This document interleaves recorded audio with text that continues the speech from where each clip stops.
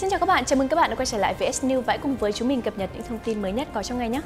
Liên quan đến những ồn ào xoay quanh nữ diễn viên Yaya Trương Nhi và Ngân 98, mới đây thì đại diện phía Yaya Trương Nhi cho biết cô đã chính thức nộp đơn khởi kiện Ngân 98 vì những hành vi xuyên tạc, vu khống làm ảnh hưởng đến danh dự và sự nghiệp của cô. Đồng thời thì phía tòa án đã xác nhận đơn kiện và sẽ sớm giải quyết sự việc.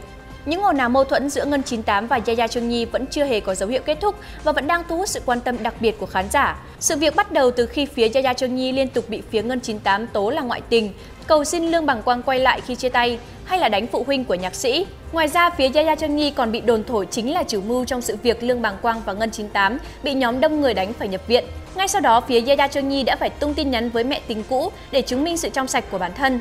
Thế nhưng những tin đồn ngày một đi xa và không có dấu hiệu dừng lại khiến Trương Nhi vô cùng tức giận và mới đây cô đã bất ngờ thông báo sẽ quyết tâm kiện Ngân 98 tới cùng.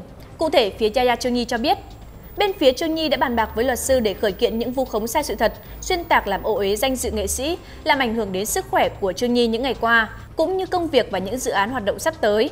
Ngay sau những lời tuyên bố của đàn chị, Ngân 98 đã không chịu im lặng. Mới đây thì cô chính thức lên tiếng đáp trả trên trang cá nhân. Theo đó, Ngân 98 tỏ thái độ bất chấp, thậm chí cô còn thách thức Yaya Trương Nhi đi kiện và gọi nữ diễn viên là thùng rỗng kêu to.